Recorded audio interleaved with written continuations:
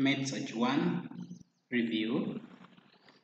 This course introduces learners to safe, patient-centered care of adult medical surgical patients.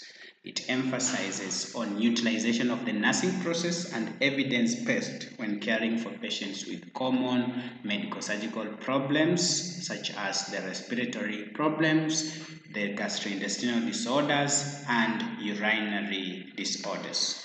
So a course content will include an introduction to medical surgical nursing. Here we'll be looking at historical development on the overview of the evolution and the advancement in medical surgical nursing.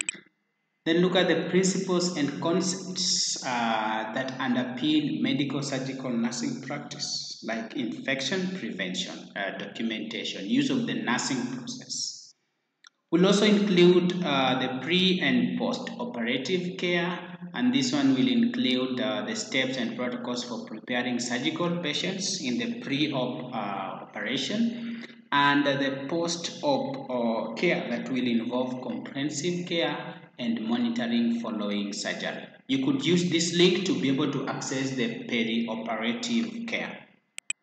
On respiratory disorders, we will first of all look at the anatomy and physiology, then look at the investigations, uh, uh, classify the disorders into the upper respiratory tract disorders such as sinusitis, rhinitis, laryngitis, tonsillitis, and epistaxis.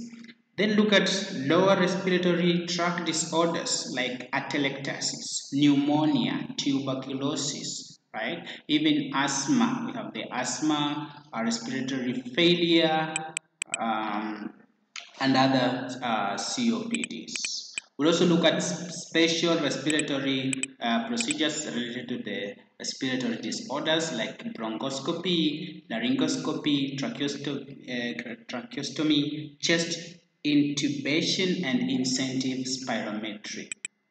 Then proceed to gastrointestinal disorders. We'll also review the uh, anatomy of the gastrointestinal system. Then look at investigations, special gastrointestinal uh, gastrointestinal procedures.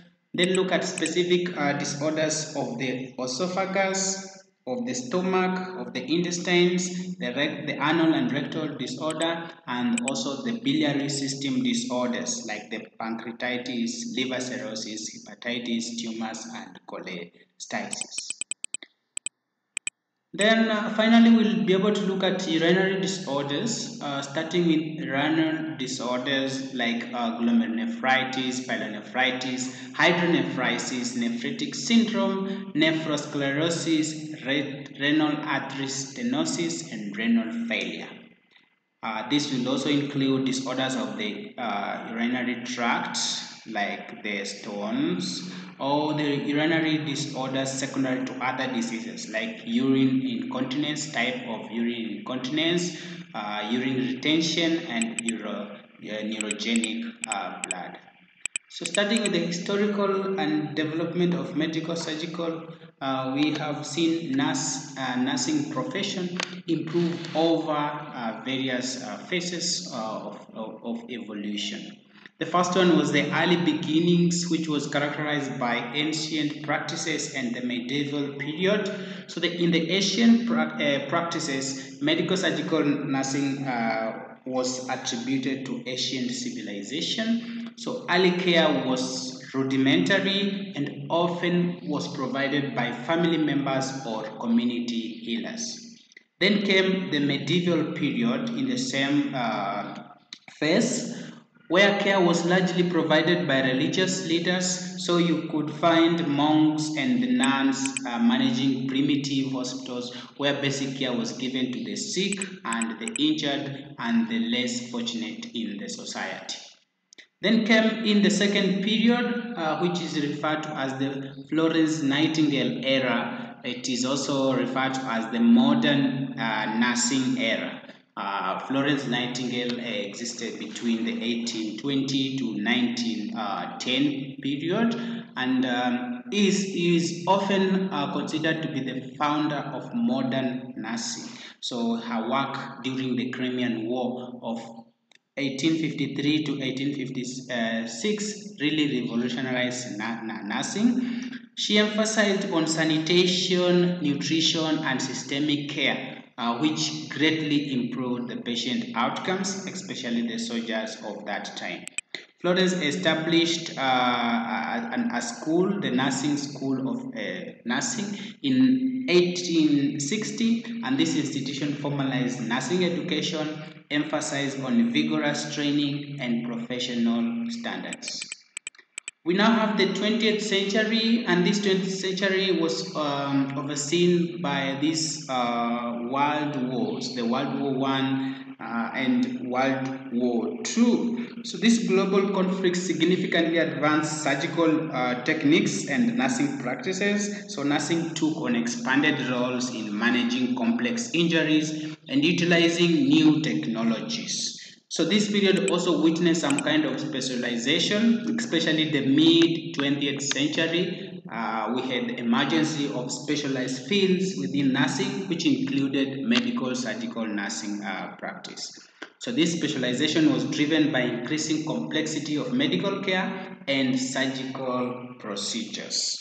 Now we have the modern advances. Uh, one of it is the technological innovations. So in the later half of the 20th century and early 21st century, brought about some technological advancements. So we have innovations such as minimally invasive surgery, advanced imaging techniques, and electronic health records have transformed patient care.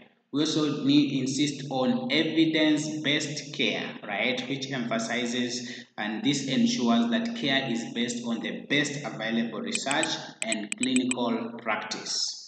Furthermore, we also insist on interdisciplinary collaboration. So today you find medical surgical nursing working closely with multidisciplinary team. This could include the physicians, the pharmacists, and the therapists just to provide comprehensive care. Equally, we have current trends in nursing, uh, like we currently we now we now embrace the primary nursing care modality, and uh, we have had team nursing, functional case assignment uh, before uh, before this.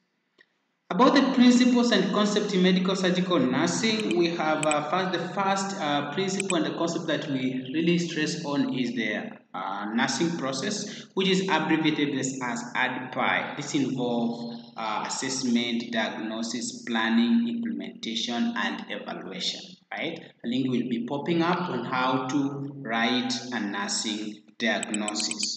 The second concept is about evidence-based, uh, where we are insisting on research utilization. So we do integrate the best available research evidence with clinical practice and patient preferences to make informed care decisions.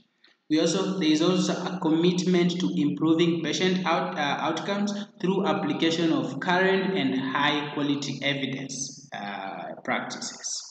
Patient safety is also a key factor in the current century. We insist on risk management where we identify potential hazards and implement strategies to minimize the risk and ensure a safe care environment for our patient.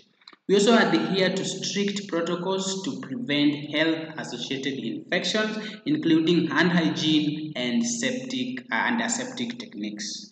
Lastly, we have the holistic uh, holistic care interdis and interdisciplinary uh, collaborations along with uh, professional ethics. So in professional uh, professionalism and ethics, we have to adhere to ethical principles such as the autonomy, beneficence, non-beneficence, and justice in all aspects of patient care.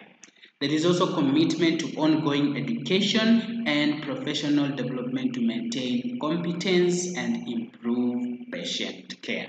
Okay, so that is our introduction to the topic. We could meet in the next session so that we look at respiratory disorders.